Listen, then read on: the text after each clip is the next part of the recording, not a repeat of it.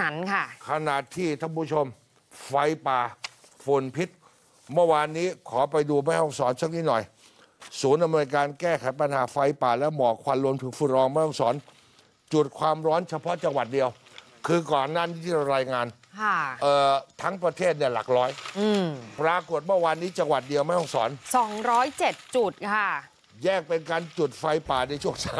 76 จุด ช่วงบ่าย 131 จุด มากที่สุดแม่เสรียง แม่เสรียง แม่ห้องสอน 43 จุดนะคะ สะสมมาตั้งแต่หนึ่งมกราถึง 4 มีนาเนี่ย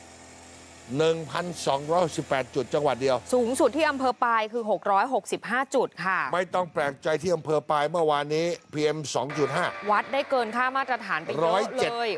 107.3 ไมโครกรัมต่อลูกบาศก์เมตรค่ะ ค่ามาตรฐานต้องไม่เกินเท่าไหร่ 37.5อ่า